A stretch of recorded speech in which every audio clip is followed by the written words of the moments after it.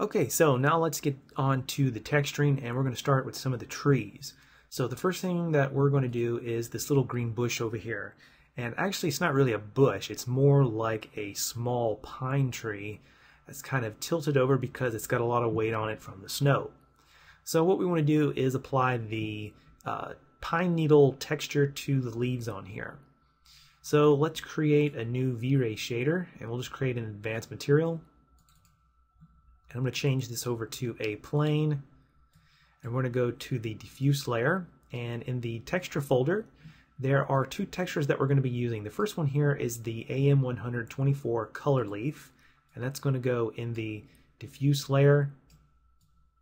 So we're going to take it and drag it up here and put it in there. And then we're going to go to the weight channel. This is uh, also known as alpha and we're going to take this one here, which is the opacity, and we're going to drop that one into there. Now, right offhand, you can probably see that something isn't right here because the uh, alpha material is actually doing the opposite of what it should be doing. It should be that the pine needles are actually coming through when actually they are transparent. Now, the reason for this is because V-Ray works the opposite with alpha channels as Cinema 4D does. Uh, you know, we we've become accustomed to using black and white images for alpha channels and transparencies with Cinema 4D and After Effects, where anything that's white is transparent and black is opaque. Well, anything here used with V-Ray is just the opposite. So let me show you what I mean. I'm going to create a standard Cinema 4D material. And I'm just going to make this a green color. We'll go into the alpha and I'm going to load in the same exact image that we used for the V-Ray material. I'm going to load that into there. Now notice how it comes up here for the standard C4D shader. It's actually coming in correct. However, with the V-Ray shader, it's been reversed. That's because the V-Ray system here works opposite for alpha channels. Now there's a couple of different ways that you can deal with this. The first way is you can take it into Photoshop and just invert the image and that will work and then you can bring it back in or you can just hit the invert button here and now everything is working properly. So I'm just going to go ahead and delete that C4D shader and we're going to take this one here and I need to call this pine needles and then we'll take it and drag it over here to the leaves object it is set to UVW mapping, so I'm going to make one more V-Ray advanced material. And I'm going to call this one stems. Go to the diffuse layer and back to the texture folder. So there's different texture maps here that you can pick from. Of course, this is going to be for the stems on this tree. So the stem and the bark are pretty much the same thing, kind of. So you can just pick one of these that you want. You can pick this bark here. You can pick this brown one or this one over here or maybe one of these here. So I figure what we could do is just pick uh, this one here because we're really not going to be seeing it because the camera's not going to be up close so it really doesn't matter. So what I'm going to do is I'm just going to take this color here and just drag this one up here. And then we can take this and drag it over here to the stems. All right, so the next tree we'll work on will be this one here, which is going to be, let's see, we need to click on the actual leaves and we go find it, and it's tree number two. All right, so we have the leaves on the top, the leaves on the bottom, and we also have the trunk and the branches. So what I'm going to do is I'm going to create a new V-Ray advanced material, and we're going to call this tree two leaves. Okay, so I'm going to change this over to a plane. And for the diffuse layer, we're going to load in an image here. Now you can choose whichever one of these you want. You can choose this one here, or actually you could use one of the green ones if you want. But since this is a winter scene, I figured maybe there's a tree that it really didn't lose its leaves. So of course, coming from the fall into the winter, the leaves are going to be probably a orange yellowish type of color. So let's take this one here and let's drag it up to here. And of course you don't have to use this one. You can use any of these other ones if you wish. And we also want to go back to the weight channel and we need to drag in the appropriate alpha channel. And of course it needs to be inverted. All right, so there we go. And then what we'll do is we'll take this and we'll drag this over to the leaves. And then we'll drag this one down to that one there. And while we're here, we might as well just go ahead and do a little render just to see what this is going to look like. So I'm just going to go ahead and render that little region right there.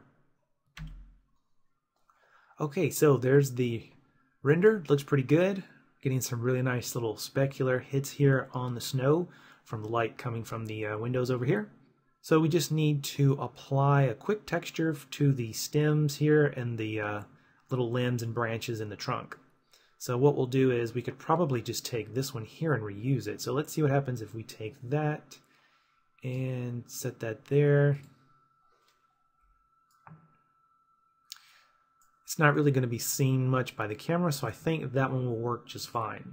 All right, so the same thing that we've been doing for these two trees here, you can do for the rest of these trees over here, like uh, this big tree here and the pine tree.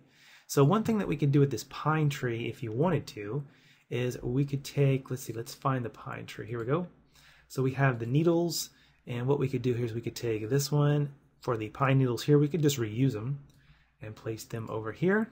And then we've got the branches, the small branches in the center trunk. Now these really aren't going to be seen too much by the camera, so we could just go ahead and reuse this material here.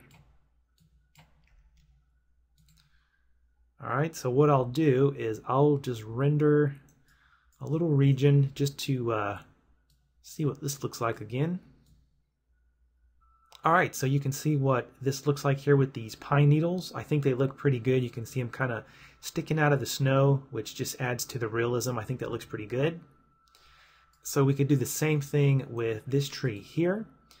And of course, we can do something similar with this tree over here. Now, the only difference is this one here, you're going to need to, let's see, let's take this material and see if we can reuse it. Let me click on the object there to find it. That's the tall tree. So what we could do is take this over here to the smaller limbs as well as the trunk branches object. And I'll just quickly render, let's see, let's render the little portion here. All right, so there's that. Looks pretty good. Really no need to have to make any type of adjustment to it, just simply because the camera is not going to be in close on it, so there's really no need to have to see all the little tiny details. So that looks good. All right, so uh, let's try these little bushes down here. Now these here already have the shape of the leaf, so all we have to do is just create a new uh, advanced material. And we're just going to call this a simple green leaf. Change it to a plane. And what I want to use will probably be something uh, let's see, let's try something like this one here, maybe. And I put it into the weight channel. That's not what I want to do. I want to go to the diffuse layer. Put that one into the texture map area. And let's apply this to these here, which is going to be the front bush. So we'll put this over here to the front bush, to the bottom as well. And there we go. That looks pretty good. So I'll just quickly render that just to see what that looks like, which I pretty much already know that it's going to look good. All right, so you can see that one turned out good as well. So of course we can go to this one over here and apply the material to this, which is going to be this brown color. We'll just go ahead and reuse it, or you can use one of the other brown materials here for the bark in any of these textures here. And we've got some uh, bushes here as well. So let's go find where those are at. I clicked on the wrong thing again. Need to click on the leaf. All right, so what we'll do is we'll just reuse these here.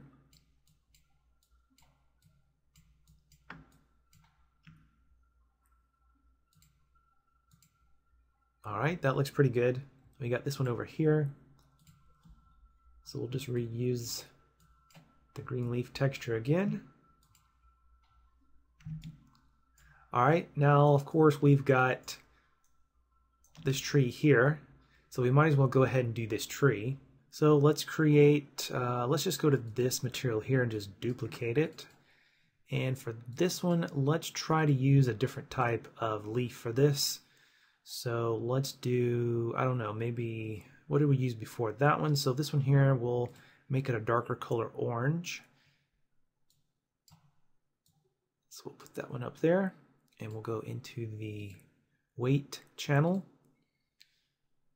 And what we need to get now would be this one here. Put that one there.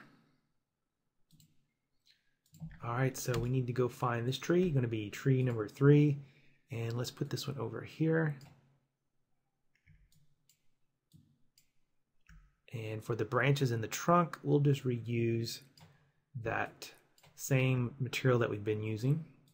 All right, now there's one more thing that I wanted to try to do really quick before we end this part, and that would be to create some type of snow shader, but it's going to be kind of transparent and it will go over the leaves because right now what we've got is the buildup of snow and then the leaves are down here, but there's nothing on these leaves. And in a winter scene such as this, where it's very cold, you're going to have maybe a little bit of frost, some ice, and maybe a light dusting of snow that's going to cover the leaves. So what I want to do is I want to take the snow shader and I'm going to duplicate it and we're just going to call this snow dusting. And that's just going to be just for objects. They're just going to have a very light thin coat of snow on them so we'll turn the specular layer off because we don't need it. And for the weight channel uh, let's first of all let's go over here and let's change this to a plane and for the weight channel let's go in here to some noise and I'm going to change the noise to turbulence And what I want to do is I want to kind of zoom in here to one of these leaves and I want to apply this over to one of these here. Now we also need to activate the mixed texture. All right, so what we'll need to do is just render the little region there where the leaf is at. Okay, so obviously we're to have to make some adjustments to the noise and kind of play around with the low and high clip uh, because we want to have a little more detail in there. But you can see that the actual card or the polygon here that the texture is applied to is actually showing up now because we've applied these textures to it. And they all have the mixed texture option turned on, which is what we need, but you can see that the card was showing through. So what we want to do is go over into the uh, snow dusting material and for the weight what we want to do is we want to keep the noise but we want to just click on layer so click on the layer shader so what we want to do is instead of clicking on image and loading up the leaf image because that's what we're going to need we're going to go over to a shader and we're going to click on filter shader so we'll click on it there and load it up and we need to apply a texture so what we want to do is we want to take this leaf material uh, for the alpha that we were using and drop that into there. Now notice up here it's reversed. So what we want to do is we want to just reverse these values here. So one way to do that is just enable clipping. And then we can just take the low clip all the way up and the high clip, bring it all the way down. Okay, now it's reversed. So we'll go back. All right, so that's all we need to do there. So we'll go back over here into the noise. And more than likely, we're going to need to make some adjustments here. So we just want to make this a little stronger. Maybe something like that. And let's try to render this one more time now.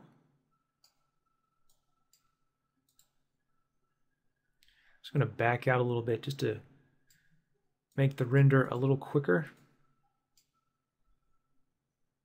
All right, so you can see that the alpha channel now with the layer shader that we put together, that is working, and we no longer see the entire card. However, these leaves have a little too much snow on them. So I think we need to go back and make some adjustments here. Okay, so what we can do is we can take this alpha image here with the filter, and we can drop that down to be the base image. And then we can take the noise shader here and we can just change the mode. And if we change it to multiply, what's going to happen is it's going to put that outside part back on the image. And now what's going to happen is the leaf is not going to show up in the shape of a leaf. It's going to be the way it was when we first applied the texture to it, which means the whole card is going to be seen. So what we want to do is we want to change the mode here to screen. And now we get the leaf shape with some snow on it. So I'm going to render a little region right there one more time.